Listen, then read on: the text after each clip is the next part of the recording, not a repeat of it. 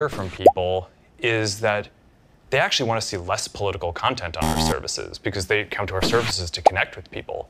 So, you know, that's what we're going to do. Um, where we give people control over this, but we're generally trying to recommend less political content. Um, so I think you're going to see our services play less of a role in this election than they have in the past.